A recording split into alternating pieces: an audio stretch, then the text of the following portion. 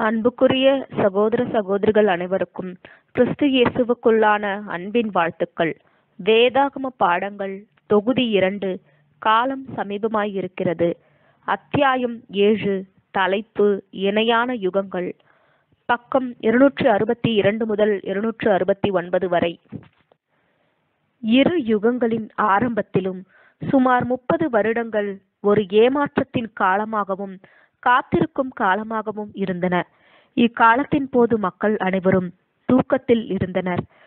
இரு யுகத்திலும் ஒரு சிலர் மட்டுமே குறிப்பிட்ட நேரத்தில் விழித்துக்கொண்டு மேசியாவின் பிரசன்னத்தை உணர்ந்து கொண்டனர்.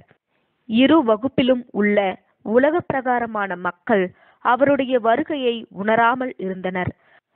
அவர்கள் தாம் அதிகம் தெரிந்தவர்கள் என்ற எண்ணத்துடனும் மிகவும் அசதியான கவனக்குறைவுடனும் இருந்து கொடுக்கப்பட்ட கட்டளைகளை மிகவும் கவனத்துடன் எதிர்பார்க்காதிருந்ததினாலும் அதை உணர முடியாமல் போயினர். இக்காரியமானது அவர் இஸ்ரேலின் இரு கோத்திரத்திற்கும் தடுக்கலின் கல்லும் இடறுதலின் கண்மலையுமாயிருப்பார் என்ற தீர்க்க தரிசனத்தின் நிறைவேறுதலாயிருக்கிறது. ஏசாயா எட்டாம் அதிகாரம் பதினான்காம் வசனம். மாம்சீக இஸ்ரேலர்கள் தேவ கட்டளையை வியர்த்தமாக்கி தங்கள் கவனத்தை பாரம்பரியத்தின் மீது செலுத்தியதால் அவர்கள் இடறுதலின் கல்லால் இடறினார்கள். எனவேதான் அவர்கள் மேசியாவின் முதல் வருகையின் நேரத்தையும் வரும் விதத்தையும் அறியாமல் இருந்தனர். இக்காரணத்தினால்தான் அவர்கள் கிறிஸ்து வந்த விதத்தை அறியாமல் அவரை வரவேற்க தயாரற்ற நிலையில் இருந்தனர். இதனாலேயே அவர்கள் அவர் மேலும் அவரது பலியின் ஊழியத்திலும் இடறினார்கள். பேர் சபையாரும் இப்போது அதே கல்லின் மீது அதே காரணத்திற்காக இடறிக்கொண்டிருக்கிறார்கள் அவர்கள் மனித பாரம்பரியத்தினாலும் தங்களுக்கு என்று வகுத்து கொண்ட தவறான சமய கொள்கைகளினாலும் குருடாக்கப்பட்டிருக்கின்றனர். இதனால் தேவனுடைய வார்த்தையானது மறைக்கப்பட்டிருக்கிறது. இதன் விளைவாக அவர்கள் கிறிஸ்துவின் இரண்டாம் வருகையின் நோக்கத்தையும் விதத்தையும் பற்றி தெளிவான எண்ணமில்லாமல் இருக்கின்றனர். இங்கேயும் ஈடுபலி கோட்பாடாகிய கிறிஸ்துவின் சிலுவை எல்லாருக்குமே ஒரு சோதனையாக ஆகிக் கொண்டிருக்கின்றது. கல்லின் மீது விழுந்த அல்லது இடறிய இருவித கோத்திரங்களும் கல்லானது பிரசன்னமாகி இருக்கும்போது மட்டுமே கல்லின் மீது மோதி இடறுகிறார்கள் என்பதையும் நாம் கவனிப்பது மிகவும் பயனுள்ளதாயிருக்கும். கல்லானது தற்போது பிரசன்னமாகி இருக்கிறது. பேர்சபையின் அமைப்புகள் எல்லாம் அதன் மீது மோதி விழுந்து தவிடு பொடியாகி கொண்டிருக்கிறது. முதல் வருகையின் போது ஒரு சிலரான மெய் இஸ்ரவேலர்கள் இந்த கல்லை அடையாளம் கண்டு கொண்டு நன்றாய் புரிந்து கொண்டு அதை ஏற்றுக்கொண்டு சத்தியத்தின் மூலம் வளர்ந்தவர்கள் உயர்ந்த நிலைக்கு வந்தவர்கள் தற்போது இடறி விழுந்து கொண்டிருக்கக்கூடிய மாபெரும் கும்பலை காட்டிலும் மகா உன்னதமான ஆவிக்குரிய வகையில் உயர்த்தப்படுவர். இக்காரியங்களை அறிவு கண்களால் புரிந்து கொண்டு உணர்வடைந்தவர்கள் இடரமாட்டார்கள் அதற்கு பதிலாக அவர்கள் அந்த கல்லின் உச்சியில் மீது ஏறி கடந்த கால எதிர்கால தேவ திட்டங்களை அதாவது வரவிருக்கிற மகிமையை பற்றியும் இப்பூமியின் மாபெரும் மகிழ்ச்சியின் நாளை பற்றியும் குறிப்பாக வார்த்தையால் சொல்ல முடியாதவைகளை தெளிவாய் அறிகிறார்கள். நம்முடைய கர்த்தராகிய ஆண்டவரின் மீது நம்பிக்கை வைத்திருப்பவர்கள் என்றும் வெட்கப்பட்டு போவதில்லை. இப்படிப்பட்ட இணைகளின் முழுமையான மதிப்பை புரிந்து கொள்ள வேண்டுமானால் நாம் யூபிலியின் சுற்றுகளையும் புறஜாதியாரின் காலத்தையும் அதோடு மிகவும் சரியாக தொடர்புடைய யூதர்களுடைய இணையான காலத்தை நாம் கவனிக்க வேண்டும். யூத யுகமும் கிறிஸ்தவர்களின் யுகமும் முறையே நிழல் பொருள் என்று கூறுவது நமது கற்பனை என்று அப்போஸ்தலர்களும் தீர்க்கதரிசிகளும் இந்த இரு யுகங்களின் பொருத்தத்திற்கு சாட்சி கூறுகிறார்கள். தற்போது நடந்து கொண்டிருக்கிற கிறிஸ்தவ யுக அறுப்பிற்கு நிரூபணத்தில் இருக்கும் நிழலான காரியங்களின் மீது மட்டும் நாம் நம்பிக்கை வைக்கவில்லை. ஏற்கனவே காட்டப்பட்டதைப் போல இந்த அறுப்பின் துவக்கமும் முடிவும் குறிக்கப்பட்டிருக்கிறது.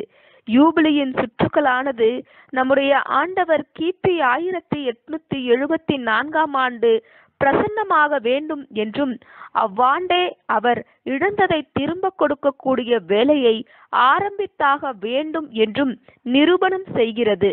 கிறிஸ்து தம்முடைய முதல் வருகையில் யூதர்களின் அறுப்பின் ஆரம்பத்தில் மேசியாவாக அபிஷேகம் பண்ணப்பட்ட ஆண்டிற்கு இணையாக இந்த கிபி ஆயிரத்தி எட்நூத்தி எழுபத்தி நான்காம் ஆண்டு இருக்கிறது.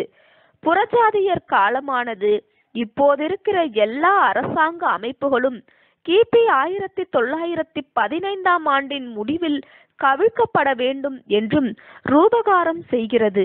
இந்த கிபி ஆயிரத்தி தொள்ளாயிரத்தி பதினைந்தாம் ஆண்டானது யூத குலமானது முழுவதுமாக கவிழ்க்கப்பட்ட கிபி எழுபதாம் வருடத்திற்கு இணையாக இருக்கிறது. இவைகளையெல்லாம் பார்க்கும்போது இந்த கால ஒப்புமைகள் எல்லாம் தற்செயலாக நிகழ்ந்தவைகளா?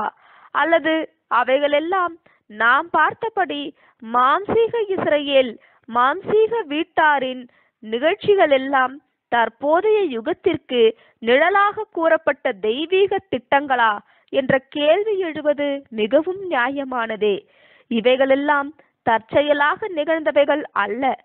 ஆதாமின் சிருஷ்டிப்பிலிருந்து கிபி ஆயிரத்தி எட்நூத்தி எழுபத்தி இரண்டு வரை ஆறாயிரம் வருடங்கள் எனவும் ஆயிரத்தி எட்நூத்தி எழுபத்தி இரண்டில் இருந்து ஏழாவது ஆயிர வருட யுகமானது ஆரம்பித்தது என எல்லாவற்றை பற்றி ஞானமுள்ள தேவனே காலக்கணக்கு மூலமாக நமக்கு போதித்தார் என்பதில் சந்தேகம் இல்லை. மேலும் யூபிலி சுற்றுகளின் மூலமாக நம்முடைய கர்த்தர் ஆயிரத்தி எட்நூத்தி எழுபத்தி நான்காம் ஆண்டில் பிரசன்னமாகி இருப்பார் என்றும் அவ்வாண்டிலிருந்தே இழந்ததை திரும்ப கொடுத்தல் ஆரம்பிக்கும் என்றும் போதித்தார். இக்காரியங்கள் எல்லாம் துரிதமாக நடக்கும் என்று நாம் எதிர்பார்க்க கூடாது. ஏனெனில் இக்காரியங்கள் எல்லாம் நிறைவேற இயற்கையாகவே நாற்பது வருடங்கள் வேண்டியதாய் இருக்கிறது. இந்த இணையான யுகங்களில் இஸ்ரேல் மக்களின் இரட்டிப்பு கிறிஸ்துவின் பிரசன்னத்தை நமக்கு போதிப்பதோடு அறுவடை மற்றும் இழந்ததை திரும்ப கொடுத்தல் மாம்சீக இஸ்ரேலருக்கு மீண்டும் கிருபை கிடைக்க துவங்குதல் ஆகியவற்றை பற்றிய ரூபகாரத்தை நமக்கு தெளிவாக தெரிவிக்கிறது. அதே சமயத்தில் மற்ற தீர்க்க தரிசனத்தின் ரூபகாரங்களையும் காலக்கணக்குகளின் ரூபகாரங்களையும் அது கொடுக்கிறது. இந்த கால கணக்கானது அல்லது இவற்றில் எந்த ஒரு கால நேரமாவது ஒரு வருடம் கூட்டவோ குறைக்கவோ படுமானால் இந்த இணை யுகங்களின் முழு மதிப்பும் அழகும் அழிக்கப்பட்டு போய்விடும். உதாரணமாக ராஜாக்கள் அல்லது நியாயாதிபதிகளின் காலத்தோடு ஒரு வருடத்தை கூட்டுவோமே ஆகில் அல்லது ஒரு வருடத்தை குறைப்போமே ஆகில் அது ஒப்புமையை இணையான காரியங்களின் அழகை அழித்துவிடும். நாம் ஒரு வருடத்தை கூட்டுவோமே ஆகில் முதலில் அது இஸ்ரேலின் மக்களின் காலத்தை ஆயிரத்தி எட்நூத்தி நாற்பத்தி ஆறு வருடங்களாக மாற்றுவதோடு இரட்டிப்பு அல்லது மறுபாகம் இரண்டாம் பாகம் என கூறக்கூடிய வருடத்தை ஒரு வருடம் உயர்த்தி காட்டும். அல்லது ஒரு வருடத்தை குறைத்தால் யூபிலி சுற்றுகள் கிபி ஆயிரத்தி எட்நூத்தி எழுபத்தி மூன்றாம் ஆண்டில் நிறைவு பெறுவதாக அது நமக்கு காட்டும். மேலும் இது ஆறாயிரம் வருட முடிவு கிபி ஆயிரத்தி எட்நூத்தி எழுபத்தி ஒன்றாம் ஆண்டு எனவும் காட்டும். ஆனால் அதே சமயத்தில் புறஜாதியாரின் காலம் இவ்வித மாற்றத்தினால் பாதிக்கப்படவும் மாட்டாது. எனவே இணை அல்லது இசைவு என்பது இதன் மூலமாக முற்றிலுமாக அழிக்கப்படுவதை நம் எல்லாராலும் பார்க்க முடிகிறது. அல்லது காலக்கணக்கு அட்டவணையிலிருந்து ஒரு வருடம் குறைக்கப்பட்டால் குழப்பமானது அதிகரிப்பதோடு அது பல காலப்பகுதிக்கு எதிர்மாறான காலக்கணக்கை தருவதாக இருக்கிறது.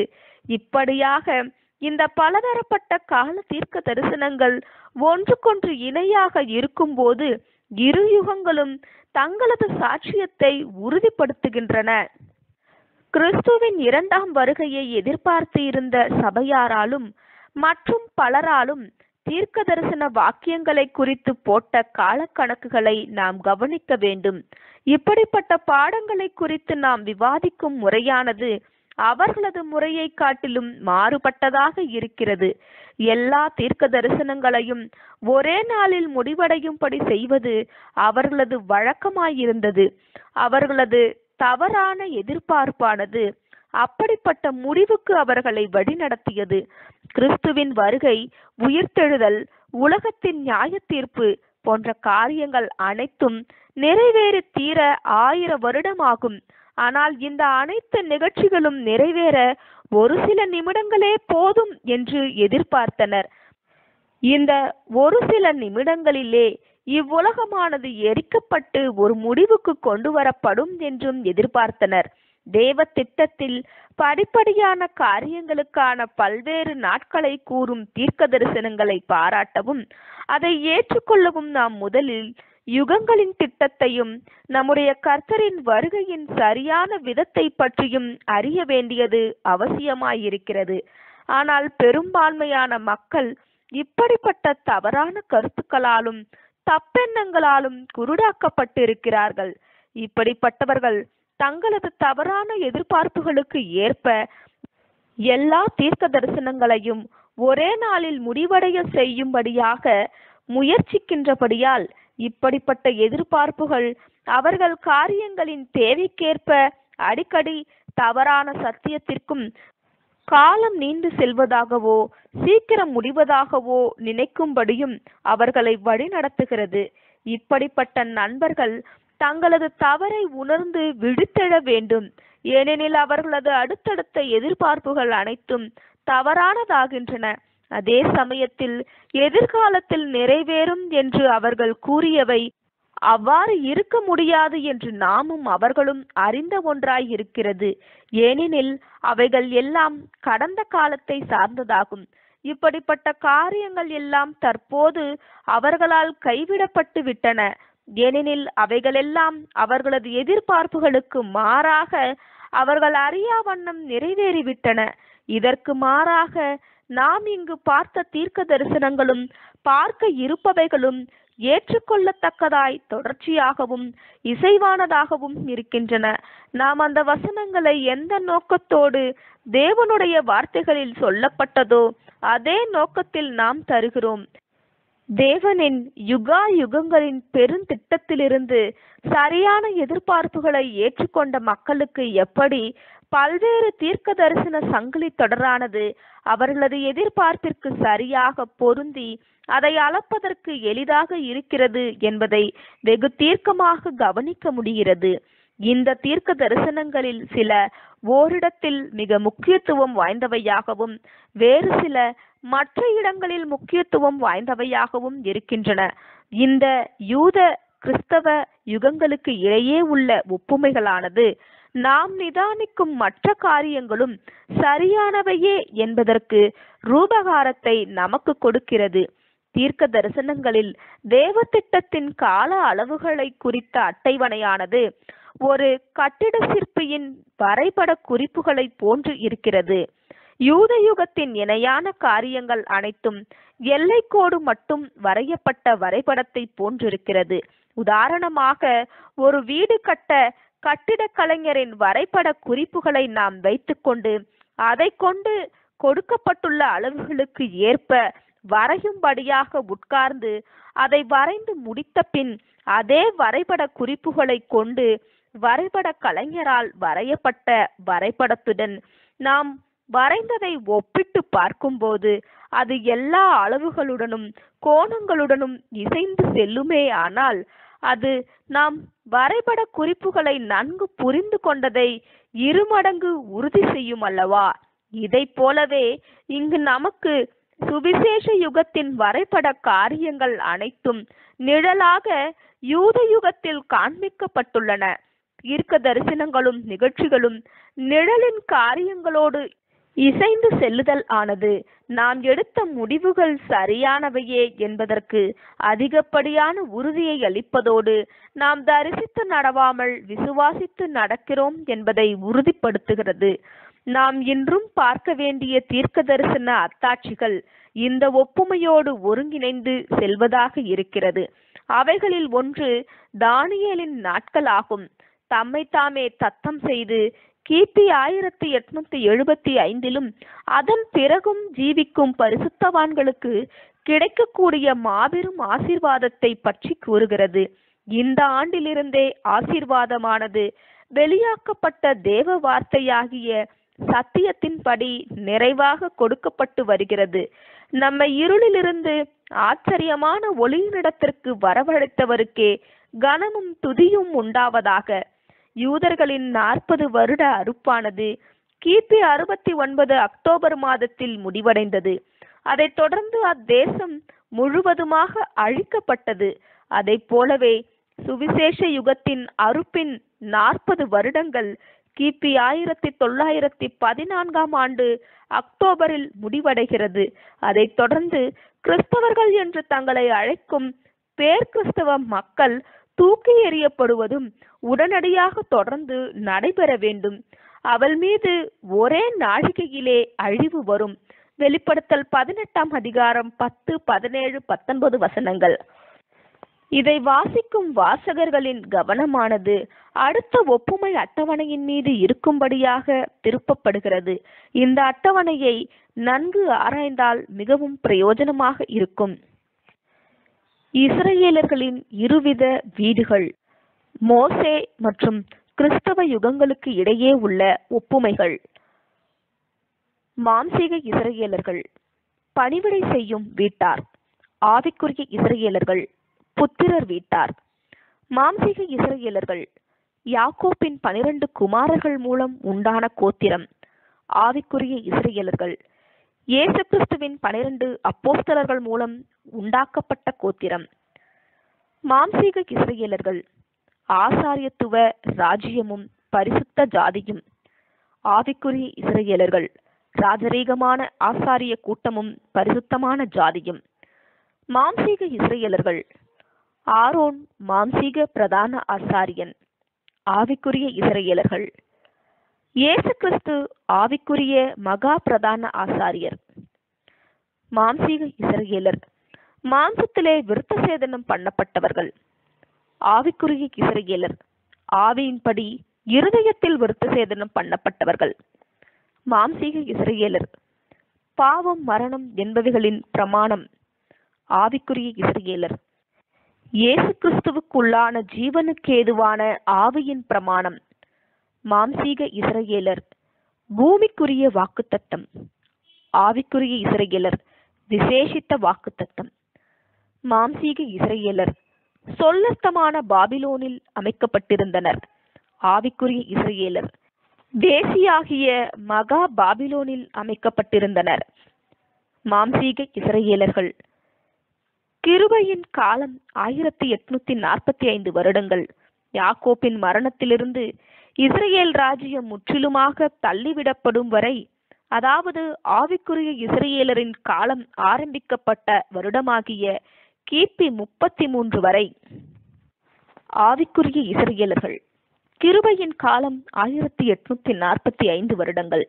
கிறிஸ்துவின் மரணத்திலிருந்து கிபி முப்பத்தி மூன்றிலிருந்து கிறிஸ்துவின் ஆளுகை ஆரம்பிக்கப்படும் வரை அதாவது மகாபாபிலோன் தள்ளிவிடப்பட்ட காலமாகிய கிபி ஆயிரத்தி எட்நூத்தி எழுபத்தி எட்டு வரை. மாம்சீக இஸ்ரேலர் பேர் சபைகளின் அமைப்பு கிபி முப்பத்தி மூன்றில் பாழ்கடிப்புக்கு உள்ளாகியது. ஆவிக்குரிய இஸ்ரேலர் பேர் சபைகளின் அமைப்பு கிபி ஆயிரத்தி எட்நூத்தி எழுபத்தி எட்டில் வாந்தி பண்ணி போடப்பட்டது. மாம்சீக இஸ்ரேலர் வீழ்ச்சியானது முப்பத்தி ஏழு வருடங்களாக தொடர்ந்து கிபி எழுபதில் முடிவுற்றது. ஆவிக்குரிய இஸ்ரேலர் வீழ்ச்சியானது முப்பத்தி ஏழு வருடங்களாக தொடர்ந்து கிபி ஆயிரத்தி தொள்ளாயிரத்தி பதினைந்தில் முடிந்தது. மாம்சீக இஸ்ரேலர் யுக முடிவு நாற்பது வருடங்களை கொண்ட அறுவடை. ஆவிக்குரிய இஸ்ரேலர் யுக முடிவு நாற்பது வருடங்களை கொண்ட அறுவடை. மாம்சீக இஸ்ரேலர் அறுவடையாளரான இயேசு கிறிஸ்து மாம்சீக சரீரத்தில் இருப்பார். ஆவிக்குரிய இஸ்ரேலர் அறுவடையாளரான கிறிஸ்து ஆவிக்குரிய சரீரத்தில் இருப்பார். மாம்சீக இஸ்ரேலர்கள் நம்முடைய கர்த்தரின் பிரசன்னமும் ஜீவபலியாக வார்க்கப்பட்ட அவருடைய மரணமும் தடுக்கலின் கல்லாக இருந்தது. ஆவிக்குரிய இசிறையேலர் நம்முடைய கர்த்தரின் பிரசன்னமும் ஜீவபலியாகிய அவருடைய மரணமும் பேர் கிறிஸ்தவர்களுக்கு தடுக்கலின் கல்லாக இருந்தது. கிறிஸ்து இஸ்ரேலின் இரண்டு கோத்திரத்திற்கும் தடுக்கலின் கல்லும் இடறுதலின் கண்மலையுமாயிருப்பார். ஏசாயா எட்டாம் அதிகாரம் பதினான்காம் வசனம். அவர்களை சந்திக்கும் நாளில் அவர் வரும் வேலையை அவர்கள் அறியவில்லை. நம்முடைய கர்த்தர் மணவாளனாகவும் அறுவடையாளராகவும் ராஜாவாகவும் மூன்று பணிகளில் தம்மை வெளிப்படுத்தினார். மாம்சீக இஸ்ரேலர்கள் கிறிஸ்து மேசியாவாக அபிஷேகம் பண்ணப்பட்ட அவருடைய ஞானஸ்தானத்திற்கு முப்பது வருடத்திற்கு முன்னால் அவரது பிறப்பின் காலத்தில் அவரது வருகையை பற்றிய அறிவிப்பு இருந்தது. ஆவிக்குரிய இஸ்ரேலர்கள் கிறிஸ்து தம்மை உண்மையிலேயே தம்முடைய பிரசன்னத்தை வெளிப்படுத்திய வருடத்திலிருந்து ஆயிரத்தி எட்நூத்தி எழுபத்தி நான்கிலிருந்து முப்பது வருடத்திற்கு முன்னால் அவருடைய வருகையை பற்றிய அறிவிப்பு இருந்தது.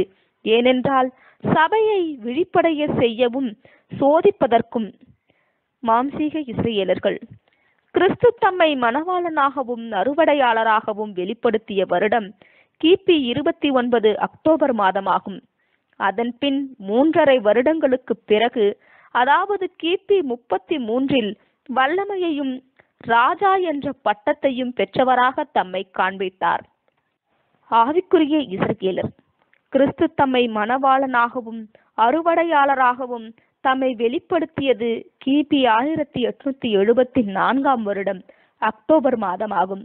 அதன் பின் மூன்றரை வருடங்களுக்கு பிறகு அதாவது கிபி ஆயிரத்தி எட்நூத்தி எழுபத்தி எட்டில் கிறிஸ்து வல்லமையும் ராஜா என்ற பட்டத்தையும் பெற்றவராக விளங்குதல். நியாய தீர்ப்புதான் ராஜாவின் முதல் வேலை. மாம்சீக இஸ்ரேலர்கள் தள்ளிவிடப்பட்டார்கள்.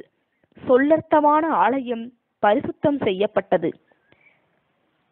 ஆவிக்குரிய இஸ்ரேலர்கள் பேர் கிறிஸ்தவர்கள் தள்ளிவிடப்படுதல் ஆவிக்குரிய ஆலயம் பரிசுத்தம் பண்ணப்படுதல். மாம்சீக இஸ்ரேலர்கள் கிறிஸ்து தங்கள் தேசத்திலிருந்து தள்ளிவிடப்பட்டதிலிருந்து முப்பத்தி ஏழு வருடங்களுக்கு பிறகு அல்லது அறுவடையின் ஆரம்பத்திலிருந்து நாற்பது வருடங்களுக்கு பிறகு யூத ஜாதியானது கிபி எழுபதில் முழுவதுமாக அழிக்கப்படுதல். ஆவிக்குரிய இஸ்ரேலர்.